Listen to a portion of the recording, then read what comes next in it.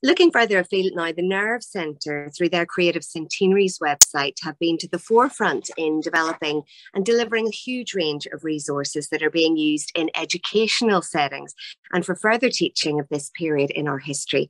We're delighted to have Niall Kerr with us to talk through some of those resources and how they can be accessed for future use. Over to you, Niall. Hello, everyone. Uh, my name is Niall Kerr from the Nerve Centre, and I'm going to talk to you today about the Creative Centenaries project. I want to say a thank you to, to David Robinson and to Belfast City Council for, for asking us to contribute today. Uh, we've worked quite closely with David and his team over the years throughout the decade of centenaries and really, really delighted to be able to, to take part in this event. Uh, Creative Centenaries, for those who don't know, is a project led by the Nerve Centre based in Derry and Creative Centenaries exists to provide information, resource, and content about the decade of centenaries available to as many people as possible. And for us, what we've tried to do with, with, with Creative Centenaries is to use new ways of exploring the past and to help new and, and more people to engage with the content in different ways, some of which I'll touch upon through this presentation. So for us, the Decade Centenaries, as, as for everyone else, as we know, it was a succession of events that unfolded across a 10-year period that would redefine the island of Ireland and its people forever. So it's an opportunity to reflect, to learn about our past, and to better inform people about our present, and ultimately about, then about our future and how we can have some of those conversations.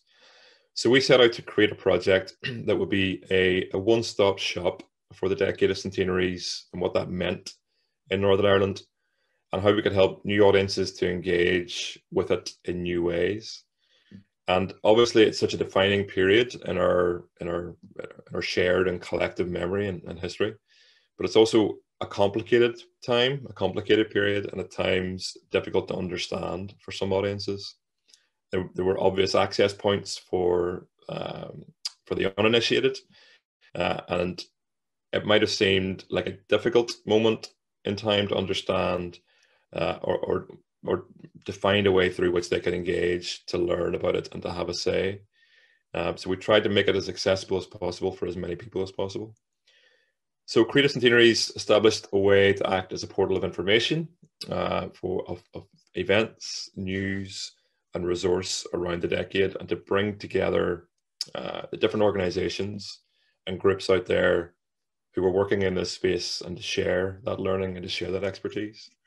So a hub website was was one of the first things that we set out to develop that would act as that one-stop shop for young and old, for for new audiences or existing, and it aimed to shine a light on the work and also to act as a place um, that through which Creative Centenaries could share its own work and its own developments over over that period of time as well. So I'll, I'll quickly run through just that website and some of what it aims to do. So there are interactive timelines that detail each year from 1912 through 1922, 23, uh, and some of the key significant moments from the decade.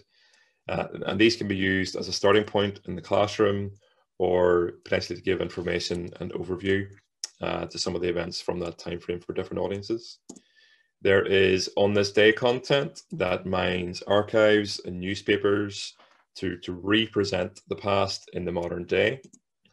Blog entries from, from historians, from academics, from PhD students and others are, are able then to expand upon some of those topics and really delve into what they meant and offer personal viewpoints.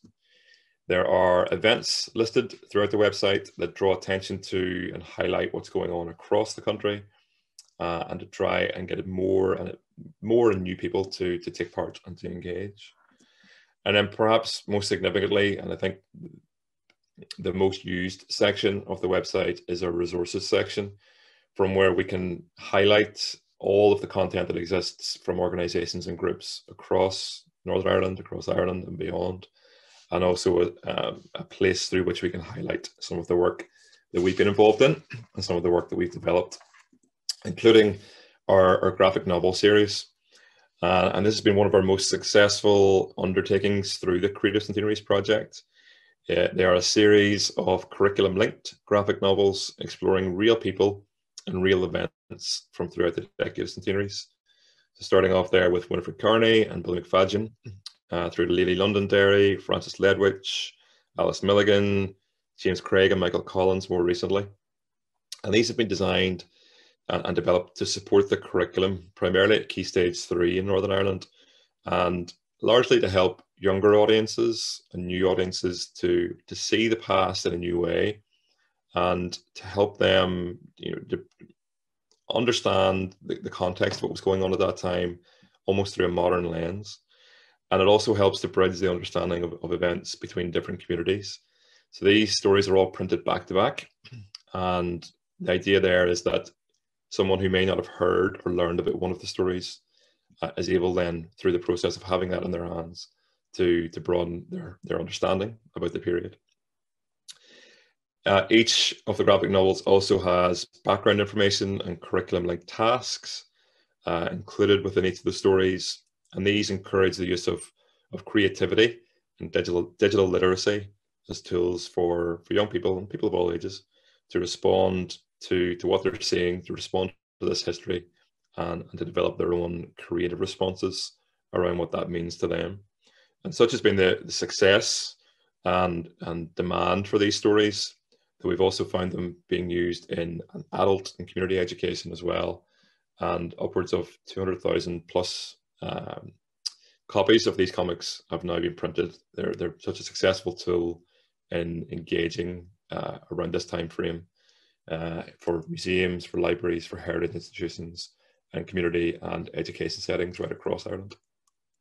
And I'm really pleased today um, to be able to show off some of the artwork from from a brand new graphic novel, which is still in development. We're hoping to launch this next few weeks, and it's thanks to, to shared history funding uh, from the NIO and from the National Lottery Heritage Fund that we're bringing this story to life.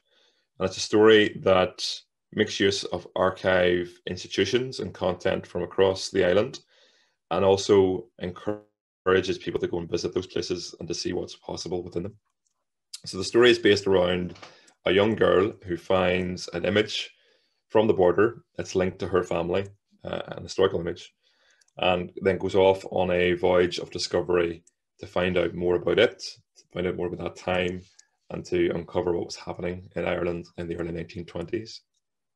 So, firstly, uh, her her voyage takes her to to PRONI uh, in Belfast, Public Record Office in Belfast, where she's able to view and handle documents and material from that time of partition. And then those times are then brought to life through artistic representations of the period. Secondly, she goes to the Ulster Museum in Belfast, where through the Modern History Gallery is able to learn more about, about pogroms, about shipyard expulsions, and, and ultimately, as you can see from the page on the right there, about the opening of Parliament at, at Belfast City Hall and, and bringing that period of time to life as well. And then finally goes to the National Library of Ireland in Dublin. And this is where she's able to view content linked to the Anglo-Irish Treaty, the Civil War and all of the events going on at that time. And the story is a way of showing the different types of content that exists across the island to draw attention to it. And as I said before, also encouraging people to go and visit for themselves. Uh, and these are all institutions that are accessible to the public, and we wanted to draw attention to that and uh, and encourage people to understand what exists out there. So it'll also be a resource that has educational tasks and materials uh, linked to the curriculum that can be used in the classroom and beyond as well. And this resource will be available to, to view, to download and to access from the Creative Centenaries website in the coming weeks, as are all the other materials that I've mentioned today as well. I would encourage anyone who is undertaking any learning or, or wants to know more about what's happening within the decade of centenaries or around the decade of centenaries within Northern Ireland, to, to visit the URL on the website on the on the screen there. So creativecentenaries.org, or to get in touch with us for any more information or to access any of this content again. Uh, and again, thank you to, to David and his team, to Belfast City Council for allowing us the opportunity to speak today. And I hope you found that a useful journey through the Creative Centenaries project.